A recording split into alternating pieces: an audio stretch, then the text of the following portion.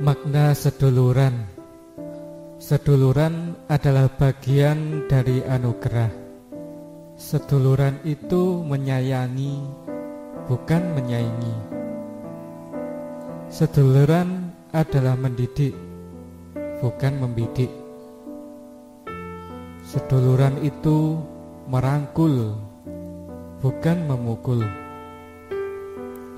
Seduluran itu saling membina, bukan saling menghina. Seduluran itu mencurahkan, bukan memurahkan. Dalam seduluran itu mencari solusi, bukan mencari sensasi. Seduluran itu saling membutuhkan, bukan saling meruntuhkan. Seduluran itu saling menghargai, bukan saling melukai. Seduluran itu saling membela, bukan saling mencela. Kadang dulur yang suka mentraktir kita bukan karena mereka berlebihan, tapi karena mereka meletakkan seduluran melebihi uang.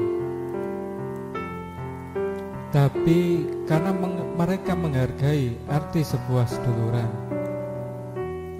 Kadang-kadang ada sedulur kita yang selalu share WA ke kita.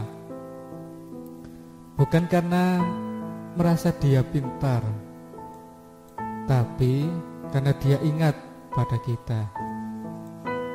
Suatu hari ada sedulur kita yang mengingatkan tentang agama dan iman. Bukan karena merasa baik dan sudah sempurna Tapi itulah perwujudan seduluran karena seduluran dengan suara hati yang tulus ikhlas Berdasarkan keimanan dan keyakinan Suatu saat kita semua akan terpisah Baik oleh jarak, waktu maupun ajal yang akan menjemput kita. Namun ada sedulur yang terus mendoakan kita. Suatu saat anak-anak dan cucu-cucu kita akan bertemu mereka dan bercerita Dulu kita pernah menjalin seduluran bersama. Seduluran tidak mencari-cari kesalahan, tapi menutupi kesalahan.